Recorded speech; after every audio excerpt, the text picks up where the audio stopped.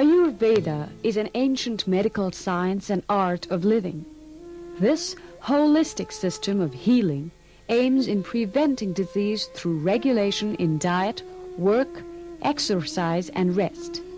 The history of Ayurveda dates back to the period of the Indus Valley Civilization, which existed about five to seven thousand years ago in the northwestern part of India.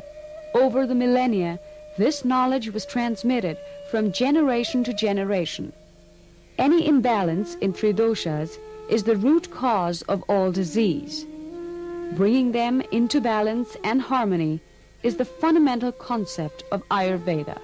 The individual is continuously and constantly connected to the universe.